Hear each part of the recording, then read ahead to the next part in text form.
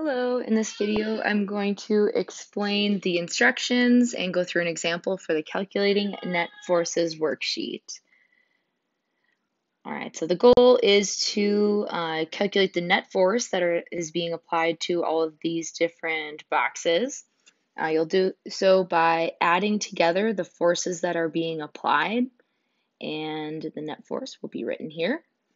Uh, based on whatever the net force is that you calculate, uh, you will determine if it is balanced or unbalanced, and you will write that right here.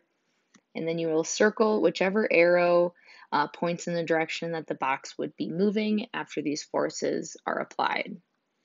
So let's walk through letter E here.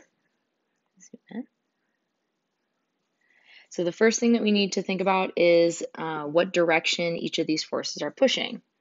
So from our lecture, we now we know that uh, north and east are both positive directions, and west and south are both negative directions. So any forces pointing in the north or east direction, positive, west, south, negative. That means that all the forces on this side are positive because they're pointing east, and this single force is going to be negative because it is pointing west. So when we are adding up the total net force, those signs need to stay true in your calculation. Go and then plus negative 1563 newtons. All right, find the sum of that, and you'll get negative 13 newtons. Okay, so this negative 13 newtons will be written right here next to net force.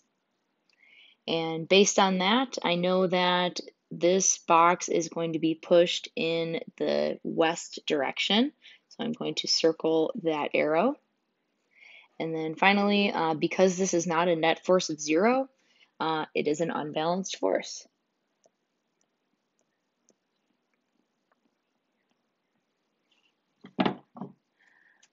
All right, eh, there you go. Let me know if you guys have any questions.